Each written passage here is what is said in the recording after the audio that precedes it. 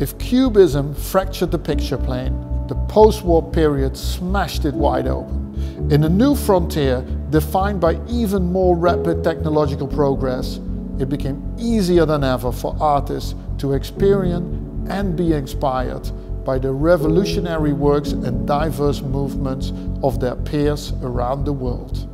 Jean Dubuffet, who heavily influenced graffiti artists, including Jean-Michel Basquiat and Keith Haring, renews Cubism's fragmented, abstracted figures in his 1967 work from his iconic Hourloupe series.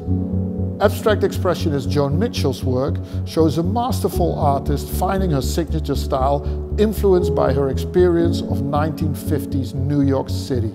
If Cubism could only happen in Paris, this work could only happen in New York.